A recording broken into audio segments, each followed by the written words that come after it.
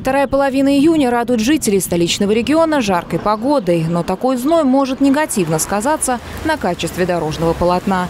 По этой причине, когда температура воздуха превышает плюс 25 градусов, спецтехника остужает проезжую часть водой. Охлаждать асфальт нужно для чего? Для того, чтобы не появлялась колейность на дороге. А происходит это, ну, смотря какая температура. Если температура там до 30 градусов, то достаточно три раза в день проводить такую операцию. Если температура свыше 30 градусов, это необходимо делать каждые 2-3 часа. Ежедневно на дорогах муниципалитета работают 10 поливочных машин. Четыре из них обслуживают город Видное. Техника оборудована специальными насадками для распыления воды. Это позволяет охладить асфальт, который сильно нагревается при длительном воздействии прямых солнечных лучей. Поливомоечные машины в городе используются не только как очистители дорог, но также и своеобразные освежители воздуха.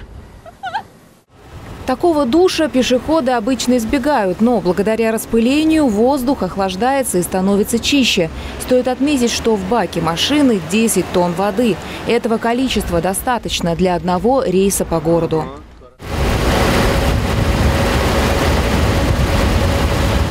В жару требуется особый уход и за городскими цветниками. Тракторист Юрий Татымов ежедневно поливает клумбы в строго определенное время – с 7 вечера до 4 утра.